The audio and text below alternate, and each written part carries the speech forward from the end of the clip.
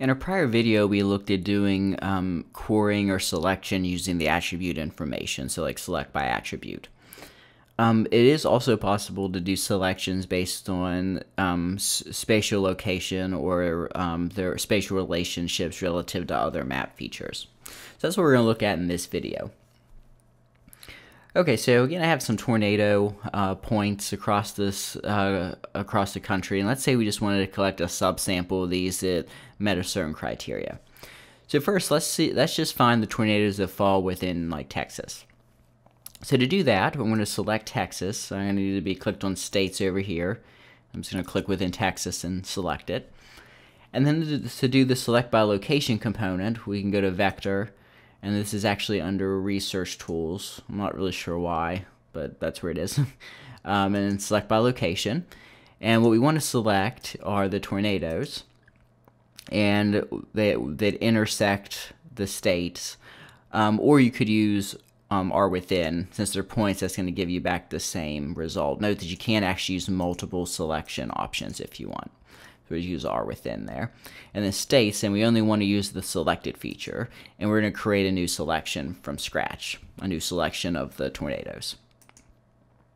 Okay, so close that. Now we should see that those tornadoes um, that are within Texas have now been selected.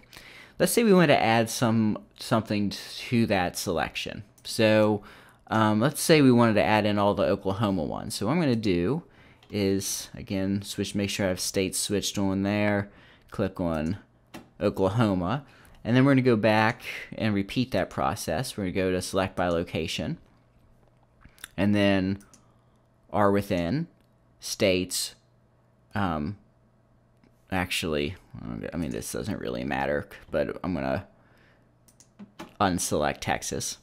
Um, and then go back to this, select by location, are within, tornadoes are within states just to selected. And now instead of doing a create new selection, we want to add to current selection. Okay, so now we should have the ones in in Oklahoma and the ones in um, Texas selected, but none of the other um, features. And then if you wanted, you could even combine this analysis with um, with uh, with some type of like attribute query. So to do that, let's let's uh, find the attribute query. We'll use uh, select features by expression. Could do um, with values if you wanted. So let's do. Uh, let's see. We want to work with. Oh, that's states. I need to be clicked on the tornadoes. Um, so open up this expression editor here. Um, field, let's use its F score. So this is like the Fujita scale value. So let's find all the tornadoes that are have an F scale that are greater than, and that should be under your operators. Greater than, and then we got to give it a number, so we'll say greater than 2. So F scale greater than 2.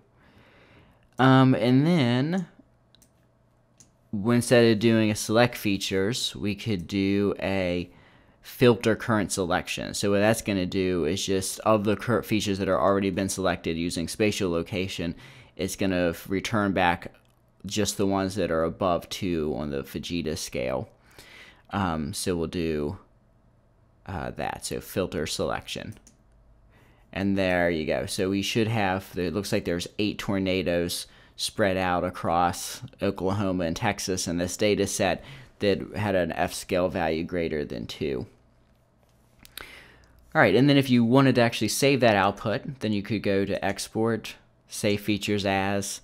Um, I'm just going to throw them in this. Uh, I'll just throw them in this uh, geo package I'm working with, and we'll call that tor sub.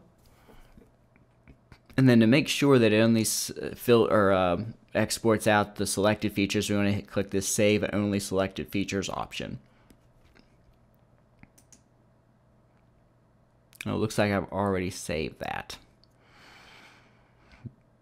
Oh, never mind.